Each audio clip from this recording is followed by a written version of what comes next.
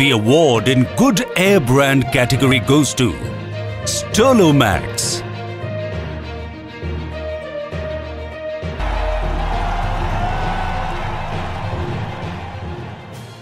Sterlomaxx uh, has done an outstanding job uh, by providing customized solutions for a variety of critical applications to improve indoor air quality in various industry segments. Heartiest congratulations uh, to Sterlomaxx.